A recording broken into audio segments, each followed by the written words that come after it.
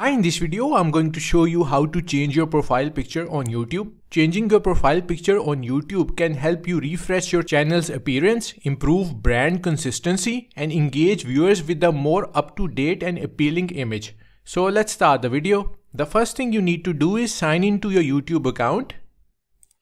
Once you are logged in, click on your profile picture in the top right corner of the screen. So click on your profile picture now click on view your channel link. So click on it. Now hover your cursor over the profile picture and you will see the option edit profile picture. So click on edit profile picture. This will take you to the channel customization page. Under profile picture section, click on the change button.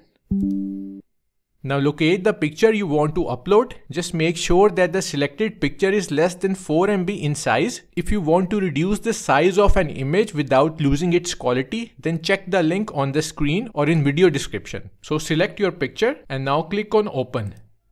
So this is the picture. Here you can crop the picture and set it accordingly.